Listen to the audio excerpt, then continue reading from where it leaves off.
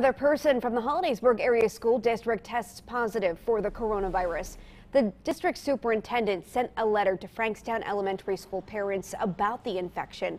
The positive patient was not in close contact with any students or teachers with them, and the school's schedule will not change. The district will work with the Department of Health to contact tracing efforts.